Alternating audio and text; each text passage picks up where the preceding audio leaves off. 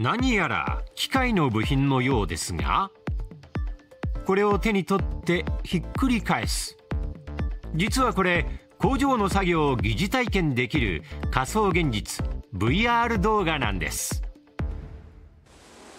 この動画が作られたのがこちらの工場。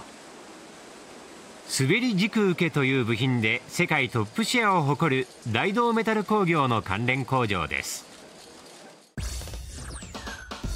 滑り軸受けが使われるのは車のエンジン。ピストンの滑らかな動きを生み出す大切な部品です。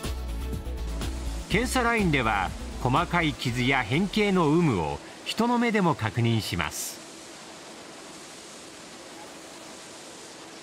工場内をよく見ると外国人の姿が目立ちます。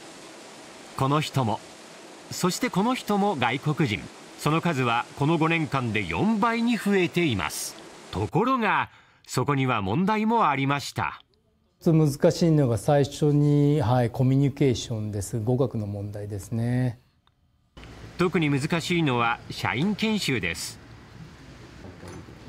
言葉の壁が邪魔をして教えるのにも時間がかかります、はい、でここに傷がないかをチェックします、はい、私が日本語で話していたことが本当に伝わっているかどうかっていうところがあの不安になります。そこで導入したのがこちら。東京のスタートアップが開発した仮想現実 VR の動画制作ソフトです。まずは市販の360度カメラでベテラン従業員の作業を撮影します。次に撮影した映像を編集します。最後に作業の内容に合わせて外国語で注意事項を打ち込めば。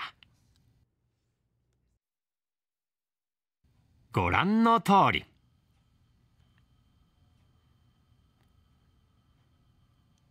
映像を見ながら実際の作業が疑似体験できる VR 研修動画の完成です。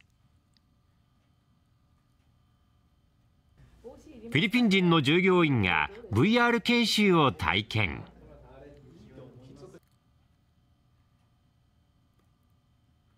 ゴーグル内の映像がこちら。部品を5つずつ掴んで裏返す。それを見ながら映像の動きに合わせてきちんと作業の手順を理解できているようです。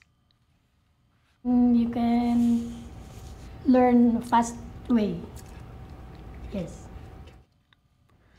VR 動画制作ソフトの導入で大同メタル工業では研修時間を導入前の3分の2に短縮できました。日本で働く外国人労働者が年々増加。外国人材の研修の効率化は多くの企業の課題です。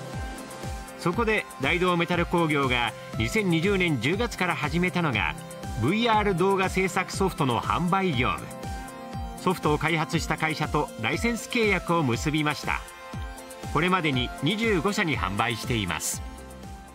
まずは2027年度末までに100社程度契約を取りたいと考えております。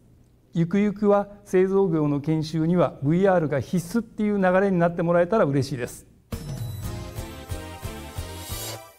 大同メタル工業は VR を使った社員研修で研修時間の削減や外国人スタッフの理解度向上に成功しました。さらに企業自身の課題解決をビジネス化外販して収益化するというまさに一石二鳥の取り組みと言えると思います。